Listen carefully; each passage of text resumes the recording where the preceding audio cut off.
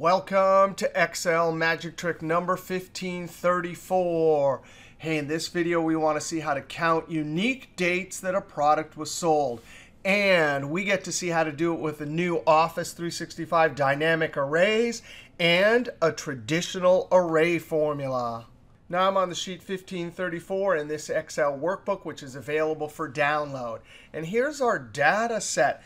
Date and product columns are the ones we're interested in. So for Carlota product, then MB, we need to look through this column, find all the, for example, Carlotas, pick out the dates. So in essence, we'd isolate and get rid of all of these dates that are not Carlota. Then from that generated list of Carlota dates, we need to count unique.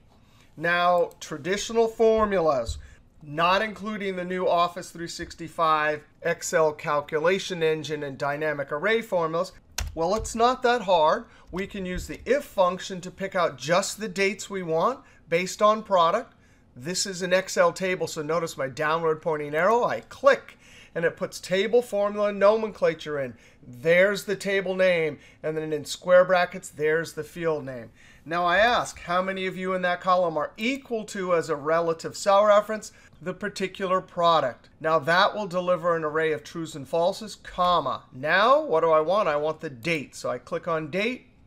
I do not put anything to value of false, because if I leave that argument empty, if we'll put a false in, which in essence will be our filter to filter out the dates we don't want. Close parentheses. Now I'm going to hit the F9 key to evaluate, and you can see there's the resultant array. That is a day where we sold a Carlota. There's another day. Falses, those are all the days where we didn't sell a Carlota.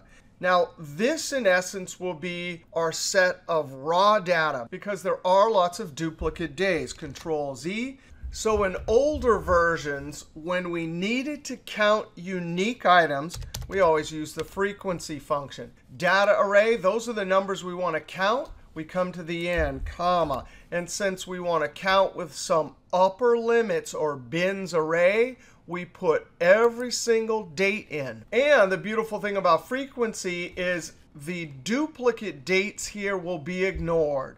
If I close parenthesis and hit the F9 key, you could see for any particular number, that's a date where Carlota was sold. Here on that date, we only sold Carlota one time. Here we sold two different transactions with Carlota, and so on. So our Unique count is going to be all of the numbers that are greater than 0. Control Z. Now I come to the end and I say, how many of you are greater than 0?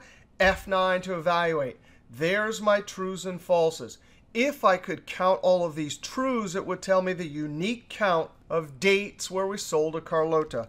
Control Z.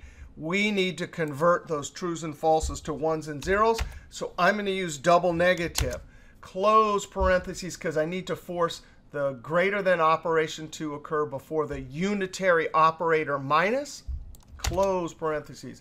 By the way, we can do any math operation to convert trues and falses to ones and zeros. But throughout the decades, it's been shown that double negative does it most efficiently. Now I'm going to hit the F9 key. And there's our zeros and ones. If we could just add those ones we would get our unique count. Control Z. Well, there's an interesting aspect of the old frequency function. We can put it inside of any aggregate function, and we won't have to use the special keystroke Control Shift Enter. So since my goal is to count those ones, I simply put it into sum. Control Enter.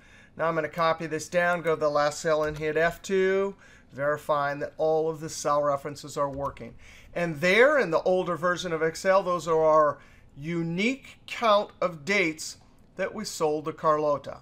Now, here's the new way to do it. The first trick is we use the filter function. And the array we want to filter is the date column, comma.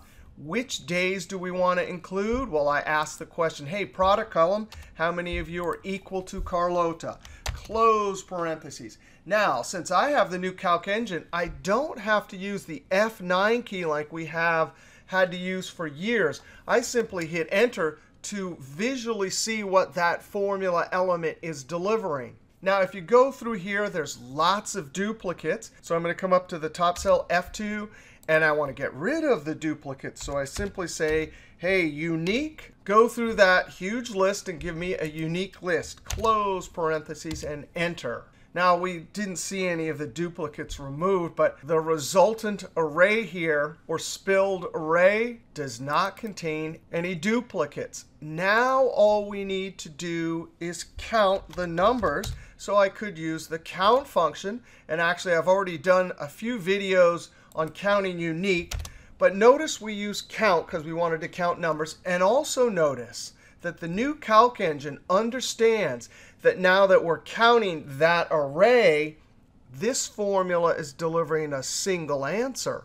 So when I hit enter, of course, it doesn't spill. Now, I want to F2. Since that is a vertical array, we're dealing with a vertical data set.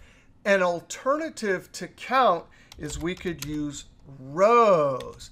Now, I didn't time these, but in general, rows will internally have less calculating to do because it really looks at the first one and the last one and subtracts to get a single number, whereas count will have to iterate and count. So this formula will work to give us the same answer. Control Enter, and then I'm going to copy it down. So we have the traditional array formula, frequency and if, with a bunch of array operations, greater than double negative, and then inside of sum.